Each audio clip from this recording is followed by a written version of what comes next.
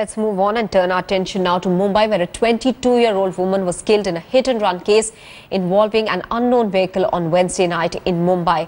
What is shocking is that she was lying injured for around 20 minutes on the busy Goregaon highway, but no one came forward to help her.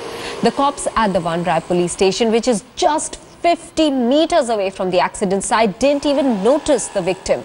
The accident took place at about 8.30 pm on Wednesday night and the police said that uh, they don't have any clues so far about the vehicle's owner or the driver. The deceased has been identified as Archana Kirit Pandya, resident of Andheri East. She had joined Tata Consultancy Services at Goregaon just four days ago.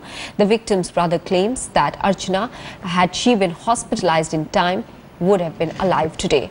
Meanwhile, under fire, the police says that they took her to the hospital in an auto rickshaw after being informed by an eyewitness.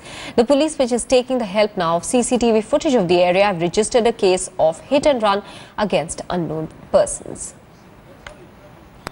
घर जाने के लिए वो hub mall के सामने bridge cross करके east बाजू आ रही थी तो साउथ बाउंड पे कोई अननोन व्हीकल ने उसको डैश दिया आ, वो इंजर्ड होके उधर गिर गई थी, लोग जमा होते पुलिस स्टेशन को इन्फॉर्मेशन मिल गया पुलिस स्टेशन का एक पुलिस कांस्टेबल और उसी वक्त एस आर पी का एक जवान से जा रहा था मोटरसाइकिल पर वो लोगों ने मिलकर वो लड़की को ट्रामा केयर हॉस्पिटल में लेके गए। गाड़ी के बारे में हम सी सी टी मिला रहे हैं। अगर सी सी टी में मिल गया तो पता चलेगा हम उसको ढूँढने का कोशिश कर रहे हैं, उसको अरेस्ट करेंगे। 851 को मुझे कॉल आया एक बंदे का उसका नाम मुझे नहीं मालूम बट उसने बोला कि फटाफट आप ट्रामा केयर में आ जाइए।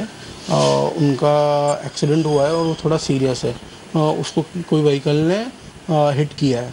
अभी और उसने हिट करके उसको उठा के साइड पे वहाँ पे जो फुटपाथ है, वहाँ पे रख के चला गया हमने बोला है पुलिस को वो देखने के लिए तो बट पुलिस ने बोला कि हमने आरटीओ को रिक्वेस्ट किया है वो सीसीटीवी फुटेज के लिए।